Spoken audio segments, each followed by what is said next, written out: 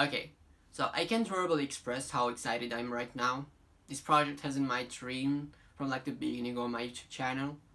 And thanks to the Odin, now I'm able to conduct this particular experiment and share it with you.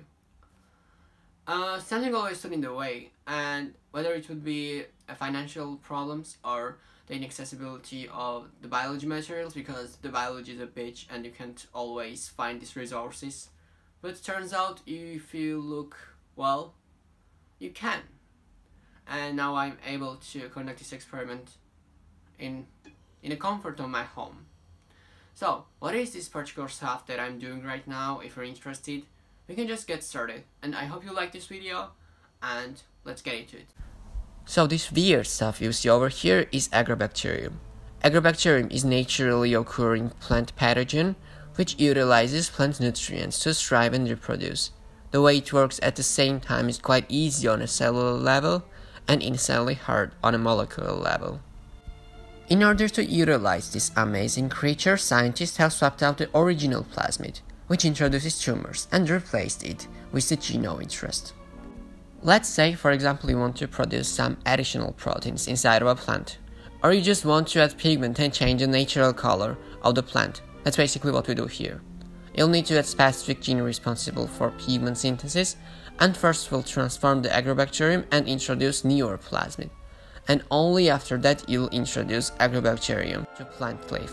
After the injection occurs, bacteria will migrate towards the individual cells and will send out tiny pieces of DNA.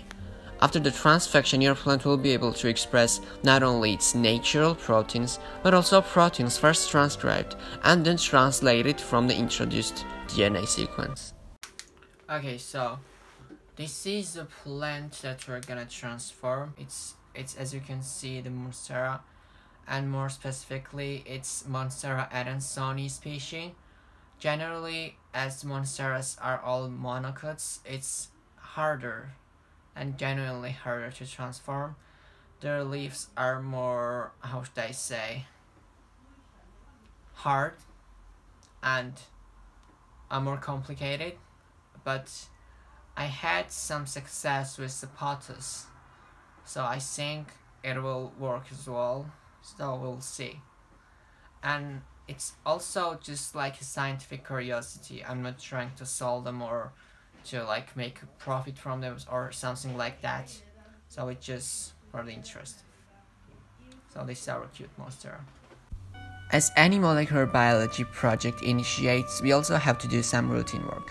This time we're making an LB media with the mix of appropriate amount of antibiotics.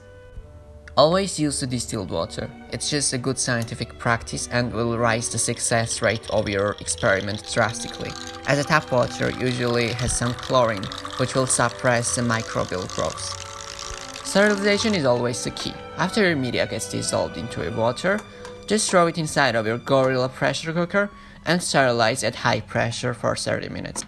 After you cook your media nice and well, just take it out as soon as possible so it won't get solidified.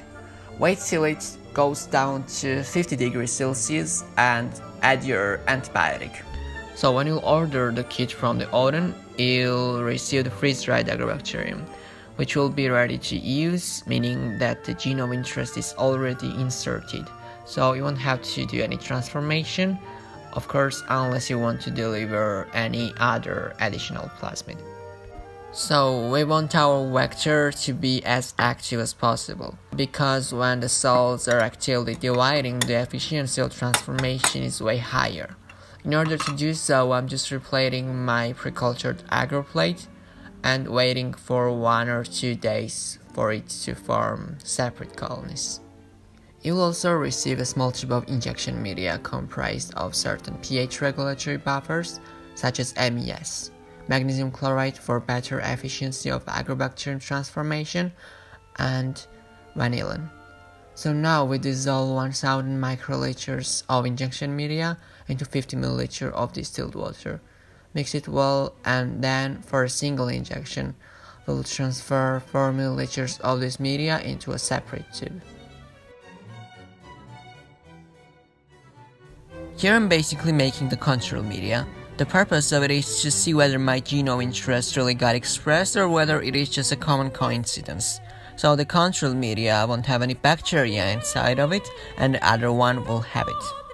Now take up quite a large amount of agrobacterium with your sterile inoculation loop and put it in a plastic tube. Mix it well and we're all ready to go.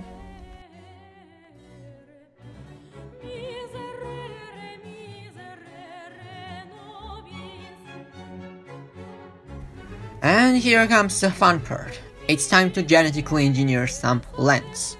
Isn't it amazing the fact that you're able to do this type of project on your own and see the actual results? Like, I think it's so freaking cool. And now take your premixed injection media with agrobacterium vector mixed with it. Take the syringe of your liking and use it to distribute the liquid inside of a plant leaf. Make a little wound on a spot where you want to inject, and that will help the plant to absorb media way easier. Now put your syringe tip on a leaf evenly, and don't forget to use gloves and some glasses for protection. Gently apply the pressure and let the liquid get in. And voila, you've basically engineered your own plant. And now it's time to wait and see the results. It will take roughly 5 or 6 days for plants to synthesize newly received DNA, and if it's successful, you'll see tissues get red, just like this. For my plant, it took roughly one week to synthesize newly integrated small segment of plasmid, and I assume it was because of the specific plant I engineered. I've also tried it on Epipremnum species and the expression was quite even, actually better than one on Monstera. Keep in mind that you can always subculture the engineered plant and clone the plant which will be entirely modified. aka a whole plant will be able to synthesize new protein and that's what I'm going to do next. Once again, huge thanks to the Odin for enabling me to do this amazing project and you should definitely check their work on their website. They do amazing work when it comes to enabling people to experience science from different degree and enabling individuals to discover the unknown of molecular biology and genetics. If you'd like to kit engineer plant, I will leave the link below. To sum up, this project was a bliss, and I should say that it's just the beginning. Many other amazing stuff is on its way, so stay tuned, don't forget to give this video a huge thumbs up, and subscribe for more videos like this. Thank you and see you next time. Bye!